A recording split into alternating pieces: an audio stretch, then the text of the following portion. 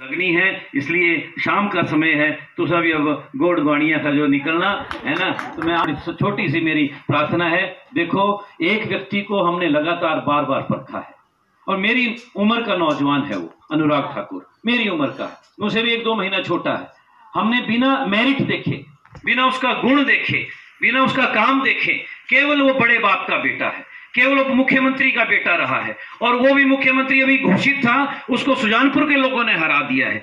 हमने उस व्यक्ति को पिछले तीन मरतबा, साढ़े बारह वर्षों में यहाँ पर, यहाँ से जितवाया और इस उम्मीद के साथ कि कुछ हमारे संधोल के क्षेत्र को करेगा, जिस तरह से जितेंद्र जी ने कहा कि शून्य काम हुआ है उस व्यक्ति के द्वारा। गाँव की डेवलपमेंट तो छोड़ दो, पंचायतों की डेवलपमेंट तो छोड़ दो। समूचे क्षेत्र के अंदर इतना बड़ा इलाका है पाँच छह पंचायतों का ये हमारा संधोल का इलाका। इसके अंदर अगर छोटी सा एक जो राजा वीरभद्र सिंह, मनमोहन सिंह, श्रीमती सोनिया गांधी के द्वारा जो काम हुआ था, केंद्रीय विद्यालय का काम था।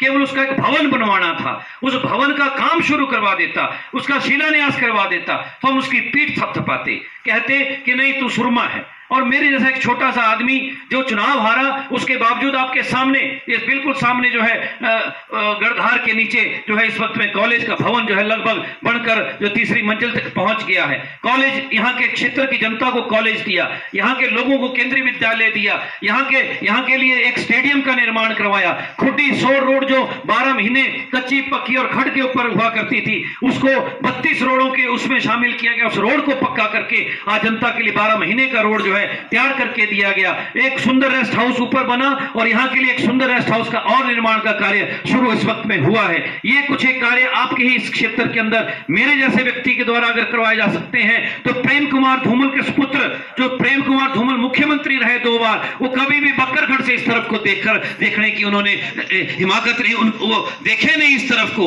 और कभी भी इस बात को कभी यहाँ के क्षेत्र के लोगों को उनकी तरफ़ से कोई इनाम मिला हो कभी ऐसा नहीं हुआ।